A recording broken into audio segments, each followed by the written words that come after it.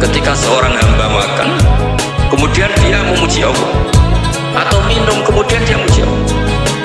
Logikanya gampang, negara seperti ini yang kamu harapkan bentuknya kayak apa, mertua, ipar, komunitas, tetangga, itu nyata terjadi, itu kan belum pasti. Sementara yang mesti terjadi adalah kamu butuh makan kalau tidak mati, butuh minum kalau tidak mati, butuh bumi yang nyaman ditempati kalau tidak kita juga mati.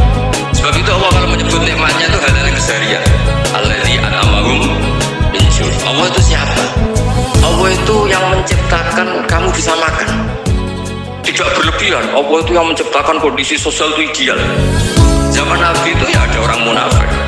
Orang-orang pilihan Allah itu juga diuji orang sekelilingnya yang macam-macam. Semua semua diuji sesuai konteks zaman dan waktu.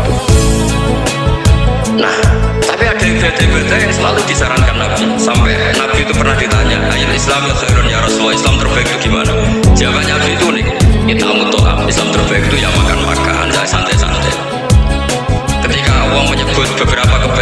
falak tahamal akub bahwa ma adrokan apa?